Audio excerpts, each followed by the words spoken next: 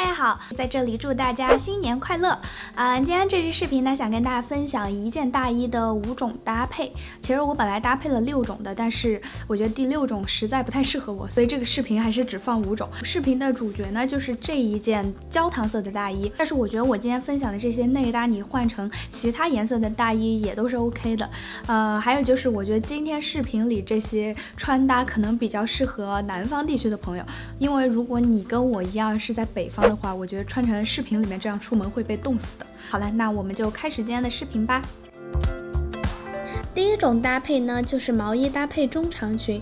这件毛衣呢，真的是因为看了《挚爱梵高》之后才想买的，感觉它特别像一个调色板。不过看久了之后，还是觉得越看越有艺术感。嗯，这套衣服呢，我就没有穿丝袜在下面，因为我觉得光腿配这条分叉的裙子会更好看。不过现实生活中应该不太可能这样穿，所以我觉得穿上丝袜效果应该也还是不错。而且这套内搭呢，就搭什么颜色的外套都可以。第二套呢，就是一个很随意的打扮，嗯，可以随便穿一件高领毛衣，再加上紧身牛仔裤，嗯，我冬天平时去上学的时候就经常会这么穿。这一套呢，我选择了一个全白的同色系，感觉这样跟焦糖色的外衣有一个比较强烈的对比。嗯，我只穿了一双单鞋，不过大家记得要穿袜子。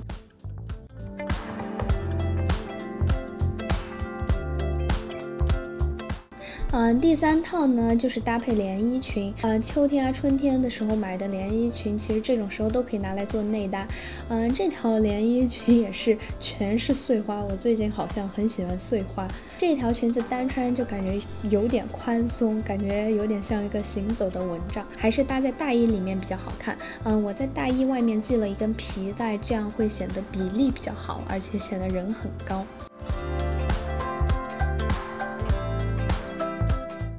这一套呢，搭的是我最近很喜欢的一个单品，就是阔腿裤。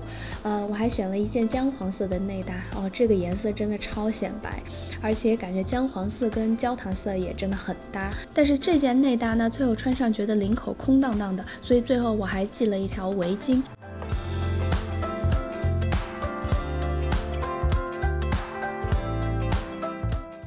嗯，最后一套就是很简单的短裙搭配贴身的内搭。我冬天的时候其实经常这么穿，不过我下面一般都是穿那种加棉的丝袜。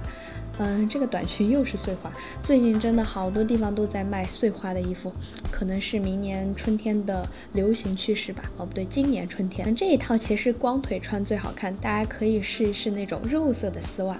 但是我为了就是展现最真实的效果，还是穿了一个黑丝袜。那这就是今天的视频啊！如果你们喜欢这个视频的话，不要忘记帮我投币点赞，多多发弹幕哦。然后最喜欢哪一套搭配，记得在留言里面告诉我哦。好的，那我们下支视频再见，拜拜。